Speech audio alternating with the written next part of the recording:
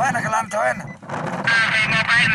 تصلهم الأنباء التي تتحدث عن نوايا ميليشيا الحوثي وقوات المخلوع صالح للتقدم جنوبا والسيطرة على مواقع استراتيجية ومهمة قريبة من الممر الدولي فتعزز المقاومة الشعبية ووحدات من الجيش الوطني تواجدها في المناطق القريبة من كهبوب ومحيطها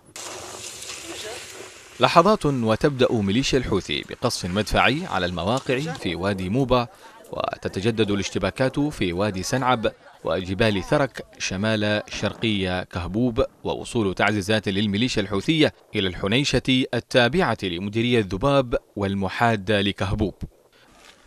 وكانت القيادة العسكرية ممثلة بقيادة المنطقة الرابعة اللواء أحمد سيف اليافعي وقيادة المحور الغربي ممثلة بالعميد الركن عبد الغني المصباحي قد نفذت نزولها الدوري إلى الجبهات ودفعت بمزيد من التعزيزات القتالية.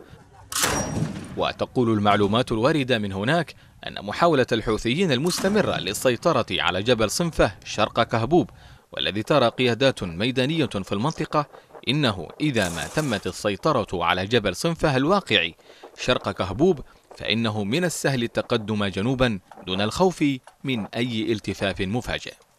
وهو الدافع الذي يجعل المقاومة هنا. حريصة على تعزيز صفوفها والبقاء في منطقة قاحلة وغير مؤهلة ومتقلبة في أجوائها.